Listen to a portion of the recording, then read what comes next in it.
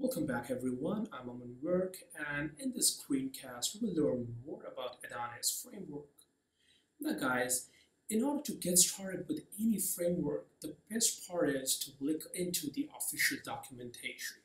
So if I go to the docs, the very first step is to install that we have already done. Next is basics, which talks about routing middleware controllers, request and response with views. And believe me guys, this is almost everything you need in order to set up an HTTP application or a server. So very first, we will get started with routing. Now, if any one of you is not aware about what routing is or what are routes, then routes are basically endpoints that you expose in order to make sure other people can reach to your application. So in order to view this particular page called routing, you are heading the route called docs 1.0 slash routing, or you can call them URLs also. Now, in order to create a route, you have to get into the file called routes.js, which is inside the HTTP folder inside app directory. So we will go to that folder here and we'll open the routes file. We will delete everything out here and we'll start by creating new fresh route. Now guys, in order to create routes, you can basically attach multiple HTTP verbs. Now, what are HTTP verbs? If you're not sure about them, you can make a quick Google search about HTTP verbs. Basically, Adonis gives you access to get, post, put, delete, and patch HTTP verb you can use all of these methods in order to create and register different routes. So right now, what we're gonna do is we're gonna say route.get and you know slash. Again, we're gonna attach a closure to it, which is basically a ES6 generator. Again, if you're not sure about it, you will have to do a quick Google search because we're not talking about generators in this video.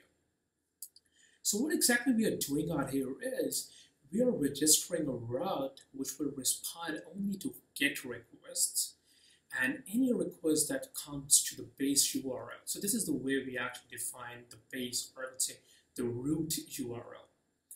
We will actually invoke this function. So for the most simplest route, we can say return hello world. Okay, let's go back to terminal and say npm start once we run that, it's going to run a server for us. It's a serving app on port 3333.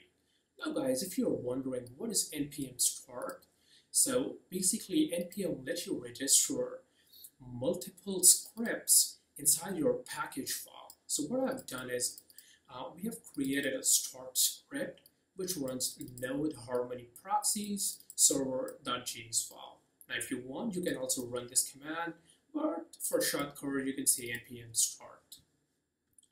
Next, if we'll come back and we'll open localhost 33333, it says hello world.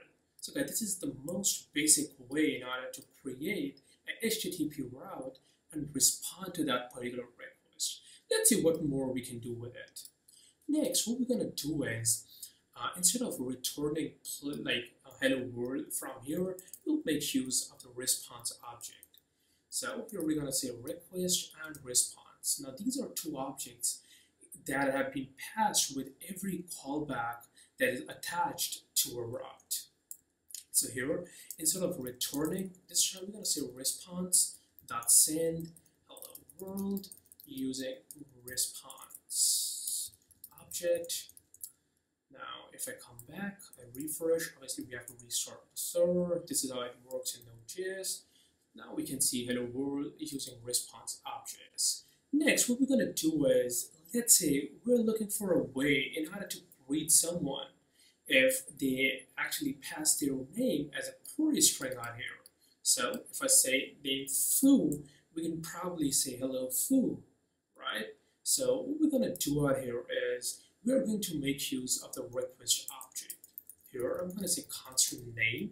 I'm going to say request dot input and here I'm going to say name. So we are actually looking for the name key on request query string or body. Next, I'm gonna say response.send. Here, I'm gonna say hello dot name. That looks good. Let's restart the server here. Come back. It says hello foo. Probably we can it. Now it says Aman Virk, right? That's cool. Maybe now we are not interested in you know like query strings. We want it to be something like this, right?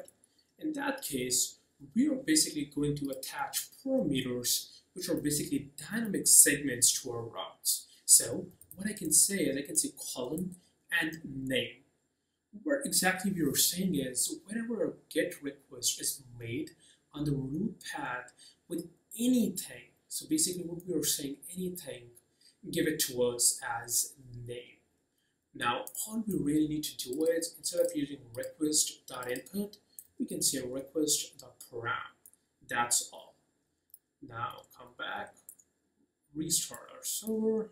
Out here, if I refresh, it's the same result. And guys, that's done with the param. Now we can do one more thing with params.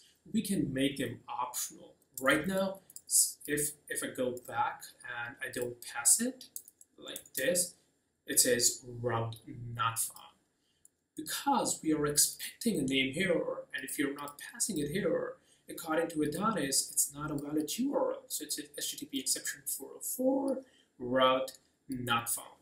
Now, what exactly we can do is we can make it optional, which means if someone passes a name, it's fine. If they really don't pass a name, we'll do something else, right? What else we gonna do? Here, I'm gonna say fella. Now, don't worry about this second parameter. First, we are going to make sure it works. now restart application, it says hello fella. Now the param method basically accepts two arguments. First is the key that we are looking for. Second is default value of in case we are not able to find this key, which is true in this particular case. Now, if I enter a name, I say Virk, it says hello Virk, but if I don't enter a name instead of hitting a 404 route, it actually says hello fella. And this all happened by adding a question mark in the our dynamic parameter out here. Now guys, what all we have been doing out here is basically related to a closure. The callback method we have defined here is a closure. It is pretty good and handy, but for big applications, we're, we're going to define a ton of routes. They are going to call different models in order to fetch data, it's really not a nice thing to write everything inside one file. This is the reason we have a controller layer while working with Adonis. So I'm going to remove everything from here. Here I'm going to say home controller dot greet. Now this is basically a string which Adonis understand and it's going to resolve a controller with a method for you out of the box. So what exactly we were saying, whenever someone calls this particular route, go to home controller and look for a method called greet. Now, if we get into the controllers directory, you will see we already have a file called home controller. Now guys, do make sure the name file has to match with the string out here and it is case sensitive. Now, if I go to home controller, we already have an index method. We are not going to touch it Instead of that, we are going to copy and paste our closure that we had earlier. I'm going to remove this from here. Here, I'm going to say greet. That's all really we need to do in order to set up a controller method.